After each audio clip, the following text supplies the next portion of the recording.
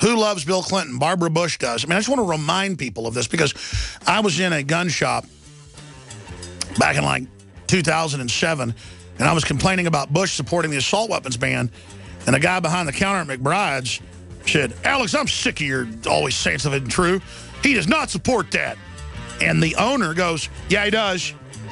That's true. He's right.